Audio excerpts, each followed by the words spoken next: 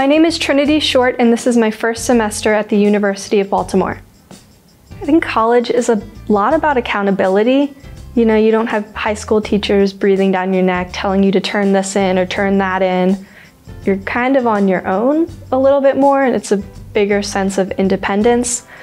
It's a, definitely a big adjustment, but before orientation, a couple of us found each other on social media and we kind of made friends before orientation. So we came in and we were automatically like together and all the teachers thought that we knew each other before, but that was our first time actually meeting. So it was good to go into University of Baltimore with those friends. I'm looking forward to what UB is going to do for me after college and I'm looking forward to the future. My name is Trinity Short. This is my sixth and final semester at the University of Baltimore, and I'm majoring in policy, politics, and international affairs. So I decided to go to the University of Baltimore because it was smaller, it was close to home, I could commute, and that ended up being the thing that surprised me the most as I loved it. The community is very tight.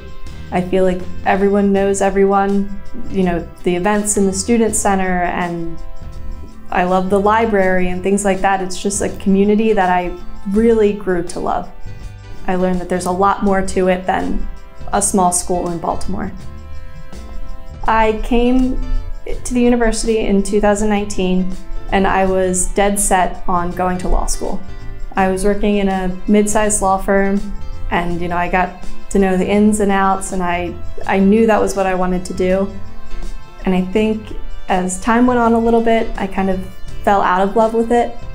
I learned that it's a little, a little more than I had thought. And so I'd say about a year ago, I decided that it wasn't exactly what I wanted to do. And I reworked my framework a little bit and I tried to figure out what I wanted to do. And so once I graduate, I hope to apply to the police academy and become a police officer.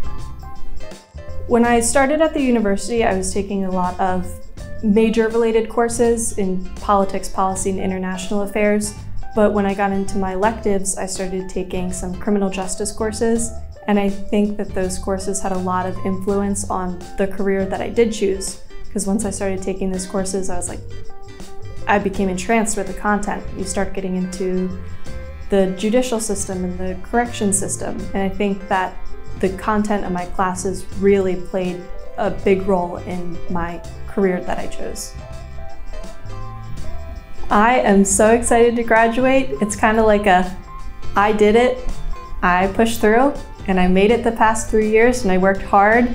Not only am I graduating, but I'm graduating with honors. I'm about to walk across the stage and get a college degree. I mean, I know that's something that my parents have dreamed of since I was born. I remember being five and my dad telling me, You're going to college. And now I get to say, I'm graduating college.